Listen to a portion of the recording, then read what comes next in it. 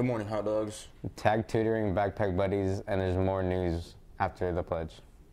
Please stand. I pledge allegiance to the flag of the United States of America and to the republic for which it stands, one nation, under God, indivisible, with liberty and justice for all. The Indiana Latino Education Summit is hosting their college and career fair in Indianapolis on September 9th. If you are a senior student and you would like to attend, please sign up in the Google form in the chatter. If you have not already done so, permission slips will be handed out on Wednesday and are due back by Monday, August 22nd. Attention juniors and seniors, Clinton County is hosting their annual College and Career Fair at Clinton Central High School on September 21st. All juniors and seniors are invited to attend the event from 9 to 11 a.m. Transportation will be provided from FHS to Clinton Central. In order to attend, you must fill out and return the permission slip by August 31st. The permission slips will be handed out during your English classes over the next couple of days. You can return your permission slips to student services or to your English teacher.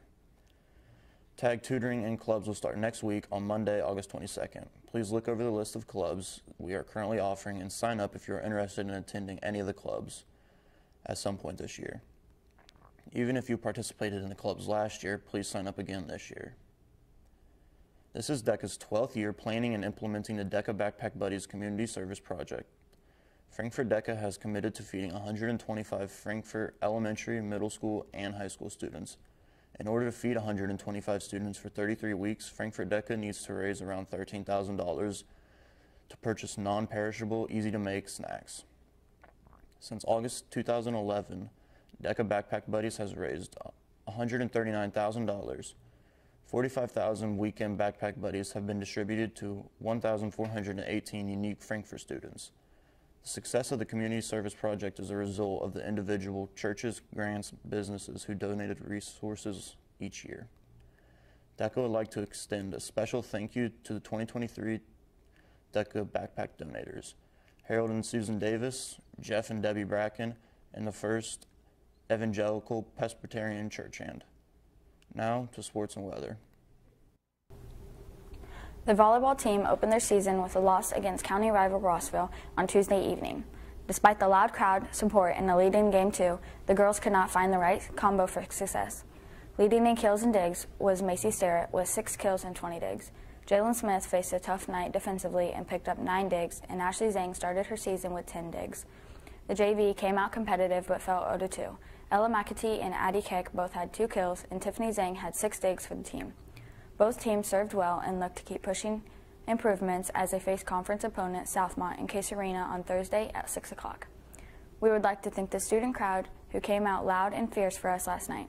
We hope to see you again on Thursday, with the theme being white.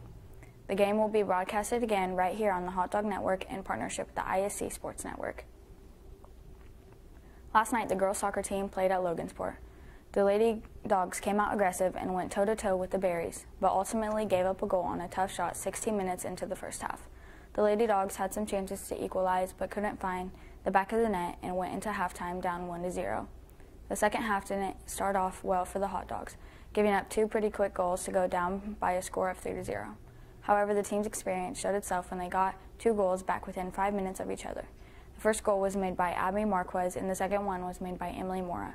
The comeback attempted fizz fizzled out when the tough the Lady Dogs had few chances to equalize, but drifted away when the Berries managed to score two late goals to give them a three-goal lead late.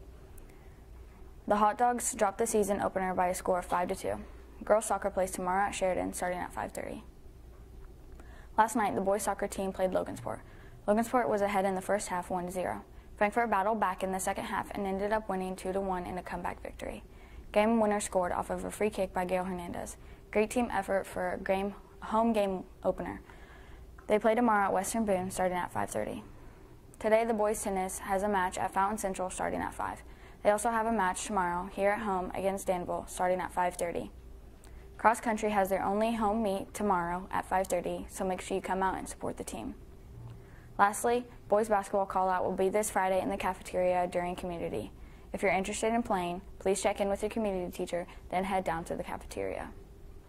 That's all for sports. Now to weather with Pedro. Good morning, dogs. This morning it was another chilly 59 degrees.